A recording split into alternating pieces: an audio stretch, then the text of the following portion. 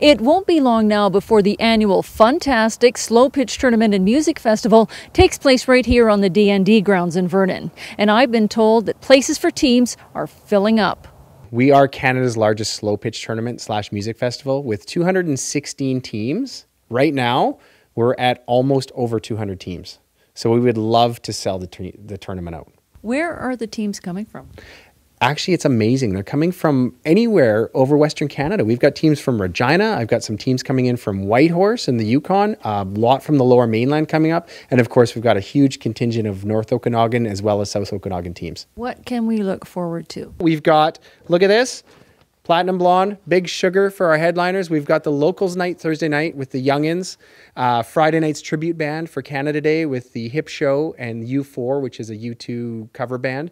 Other than that, we've got a lot of energy coming up to the site this year. We've got a lot of fun stuff happening. We've got, I believe, we have the Castanet fastest pitch going on. Tickets are going like hotcakes. And as usual, the tournament and music festival take place on the July long weekend. Kate Bouey for Castanet News in Vernon.